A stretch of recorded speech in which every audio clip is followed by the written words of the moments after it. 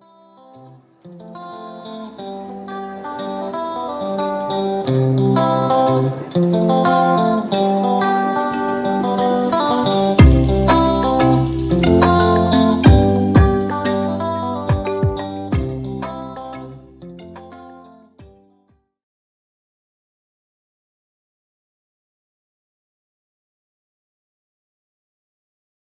Magandang nga po Pilipinas, this is Sunny. Welcome to my channel. Okay, meron lang akong ah, tatalakayin o sagot. Kasi meron ako ginawang video patungkol sa labor cost sa paint work. Okay, meron isang viewer ang ah, nagkomento. Okay, medyo ganitong negative. Kaya sa ating mga kaibi- kaibigan na nagpapagawa, okay, kung meron kayong kausap na kontrakto, wala pong problema yan. Nasabi ko wala problema yan. Kasi kung meron po siyang, ah, kung meron po kayong komento o yung ah, nakikita nyo na aberya, pagdating po sa kalidad ng trabaho, ay ang inyo pong kakausapin is yung contractor. Pero kung meron po kayong project specification, wala pong problema yan. Kasi magko-comply po ang contractor. Ngayon, kung merong meron po kayong mga komento sa workmanship na mga skilled, ang kakausapin lang nyo siyempre yung contractor. Okay?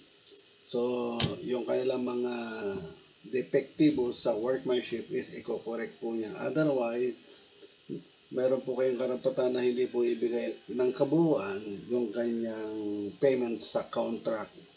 Okay, contract. Okay, halimbawa, hihingi po siya ng kabuuan ng payment, hindi nyo kagad agad-agad ibibigay yan hanggat hindi po niya na i-correct yung inyong uh, punch list. Ito po yung mga depekto sa trabaho o kaya depekto sa workmanship pag kayo po ay may kausap na contractor.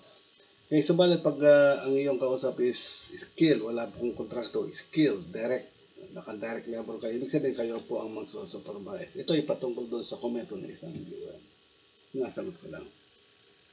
Kailan po kayo magbabago sa skill, okay, ba, planchado na po yung kontrata, okay, pakiyaman sa arawan, dapat po meron kayong agreement o meron po kayong kasundo na pa-agreean patungkol po sa kalidad po ng trabaho. Kasi meron po tayong uh, viewer, okay, hindi ko na po babanggit ang pangalan, okay, nagpagawa po siya, okay, although yung kanilang usapan, agreement is verbal. Later on, nung sinabi ng skilled na mamis tapos na po ang trabaho, kaya tinignan ni madam yung kanyang ah, ginawa at nakita po niya is marami po mga kulang-kulang doon base puro doon sa napagka-agreean nila o napag-usapan. Dahil nga po wala pong kasundo, no? wala pong kasulatan, wala pong project spec na binigay ang ating kaibigan na viewer, is nagtiwala naman po siya doon sa taong kukontrata. Okay, skill.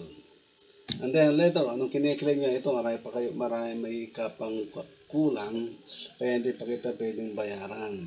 Okay? Subalit, itinanggi po ng skill yung kanyang kausap naman wala po tayong pinagka-agree ng ganyan. Yan ang problema kapag wala po tayong project specification, wala po tayong ah, spec kung ano dapat ang gagawin ng skill. Okay? So, nararapat lamang na kung kayo po is magde-direct labor, kailangan po meron po kayong black and white agreement po ng gagawa, lalong-lalo na sa skill. Okay? Baka mangyari is katulad po ng ating ng isa ko isa sa akin mga isa sa akin viewer na itinanggay na po ng skill yung kanilang usapan. Although, kasi verbal yung napag-usapan. Wala po kasi black and white. So, kung kayo po is dadirekta sa skill, dapat po meron po kayong black and white. Okay? Pirmahan nyo na ito yung dapat niyang gawin. Baka later, later on, isabi, ma'am, wala tayong pinag-usapan ng ganyan. Okay? And then, sising, sisingilin na kayo.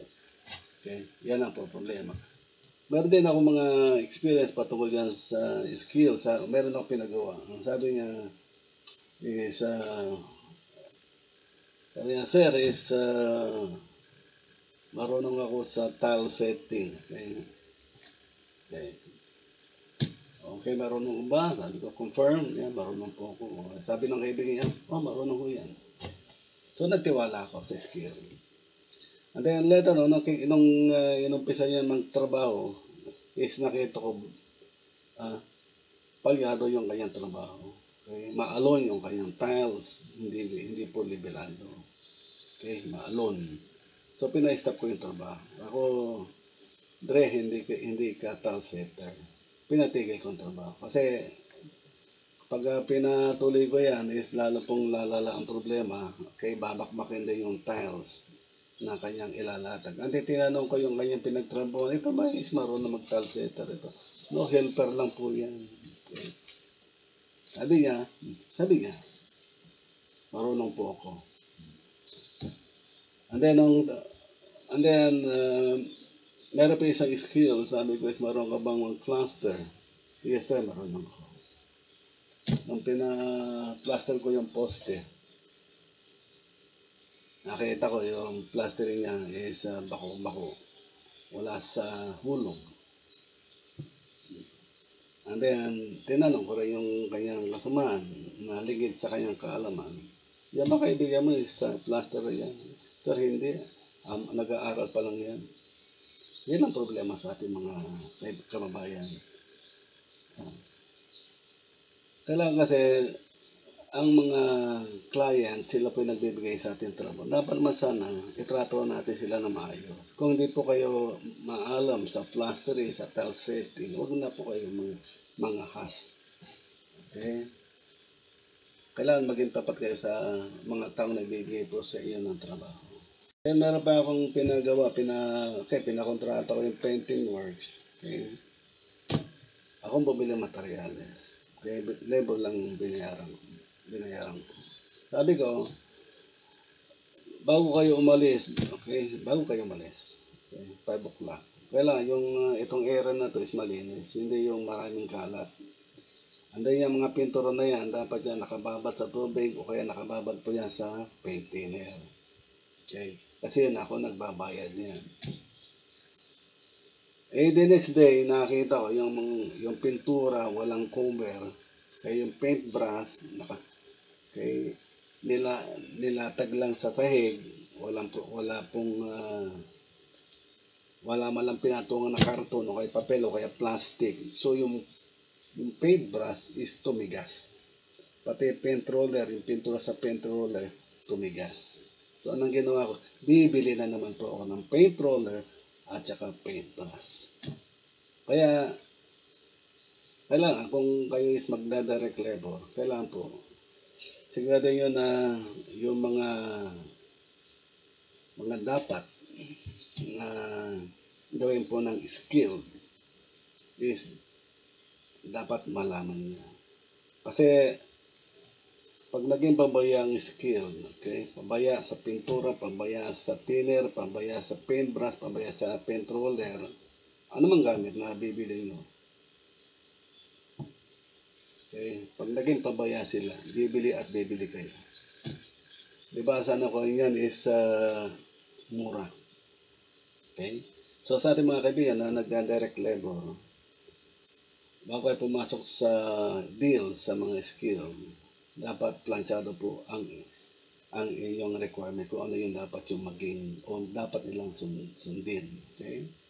Bago umalis, dapat yung paintbrush is dapat nakababa sa paint thinner o kaya tubig. Okay? Kung kung ginagamit po nila is water based, dapat po yung paintbrush na yan is nakababa sa tubig para hindi po tumagas, tumigas ang pintura sa paintbrush at para may iwasan po uli yung pagbili.